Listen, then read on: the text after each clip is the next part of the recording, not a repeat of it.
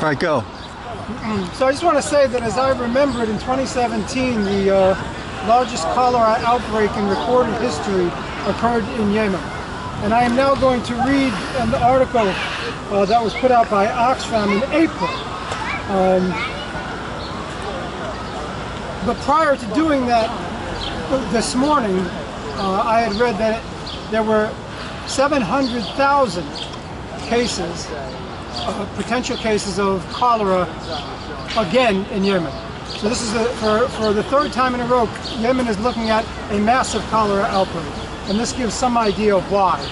Um, but the figures in here are, in my mind, quite low. Um, so, this is from Oxfam.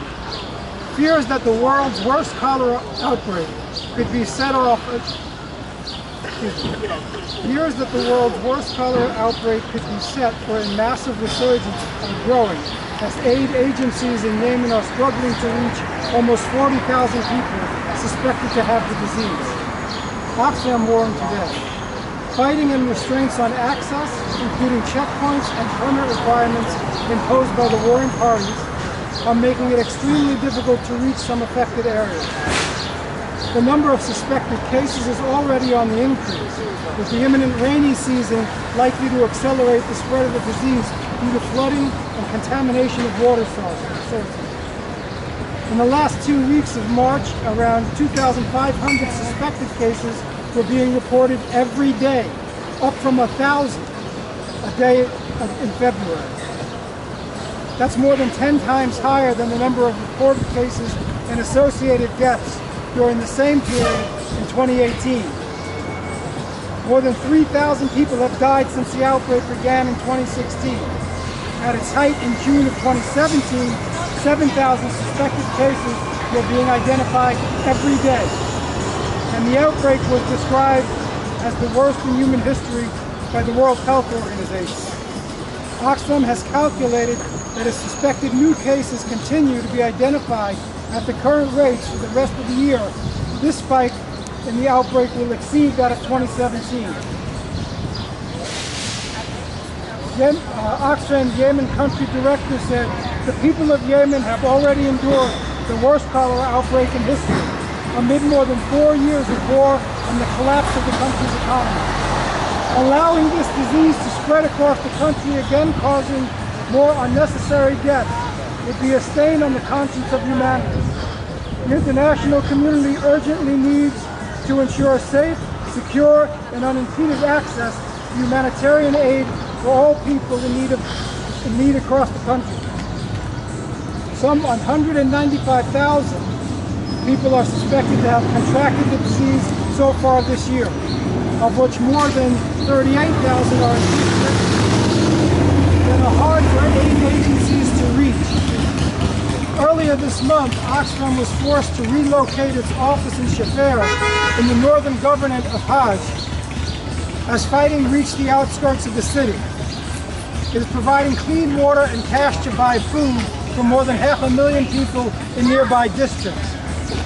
Fighting is continuing on various battlefronts across the country.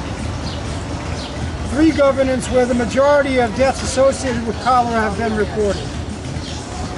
Continuing conflict, airstrikes, and access restrictions have left 14 million people facing famine in Yemen.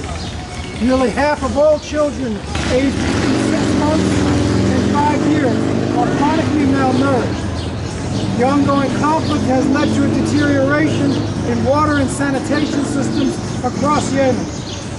Clear water and proper sanitation are essential in preventing cholera. The UN estimates that there are 17.8 million people in Yemen in need of help to get clean water. Only half of health facilities are functional in Yemen, and many people cannot afford the cost of treatment.